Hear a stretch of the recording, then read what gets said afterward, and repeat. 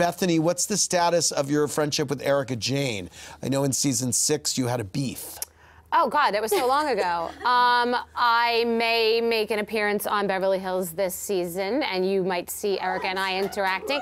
And we ran into each other at Christina Aguilera's birthday party where she performed, and we know people in common. I know her husband, um, so we're good. Good. I mean, you know. Let's go to Krista from Oklahoma. Hey, Krista, what's your question? Hi, Andy. Hi, ladies. Hi. I wanted to. Hi. Which friendship in your respective city do you ladies find the most exhausting to maintain? Oh, good question. Which do you find the most exhausting from the other franchise? franchises? No, from your franchise. Oh. Uh, uh, you, you said, yeah, uh, Ramona. Yeah, she, said- had her. She didn't even have the verb out yet. Yeah, man. right, It was like Ramona.